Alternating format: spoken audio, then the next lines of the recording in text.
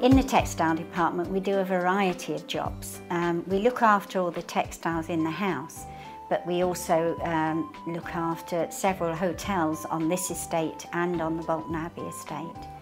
We do some conservation work, but that's um, volunteers who do that mostly.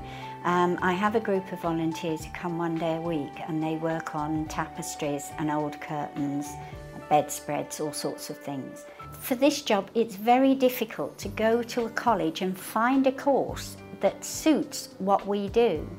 Their experience is not the essential thing. It's being able to work in a team and to be flexible because you never know what you'll be doing next.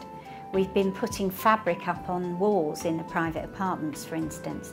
To do that, you have to pass the scaffold tower uh, exam uh, to be able to work from a scaffold tower because it's 20 feet high. We're asked to make flags, 160 flags for a party. And could we please make blindfolds uh, for the statues? I mean, you know, you go, go to college and learn that kind of thing. You really have to make things up as you go along often.